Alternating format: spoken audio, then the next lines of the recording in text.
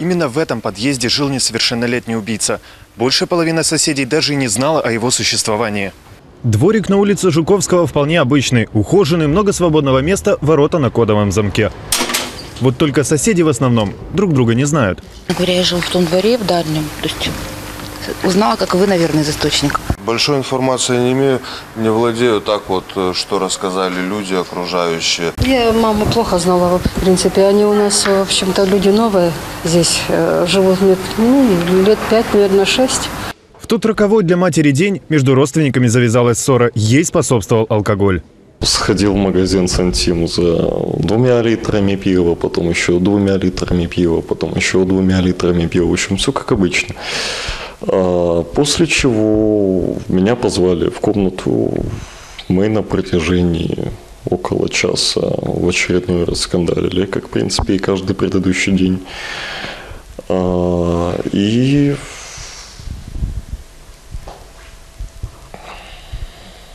как бы описать-то?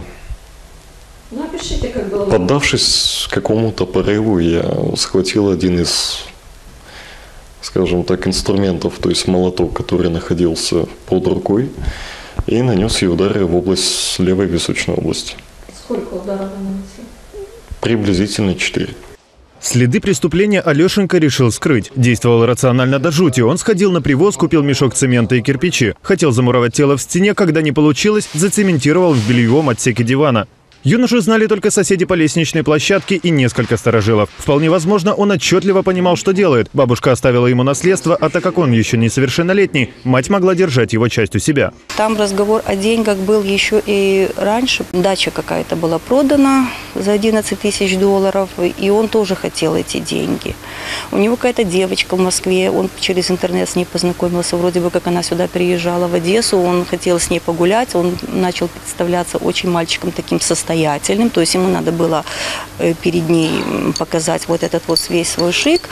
Ну а мама, конечно, понимала, что он еще несовершеннолетний, как бы рановато. По информации издания «Таймер», за последний месяц Алексей постепенно начал терять рассудок. Загадывал странные загадки своим друзьям, типа «как спрятать труп в квартире, не выходя из нее?». Против него открыто уголовное производство по статье «Умышленное убийство». До 12 лет тюрьмы только мать это не вернет. Юрий Гальченко, Александр Нелупов, телекомпания АТВ.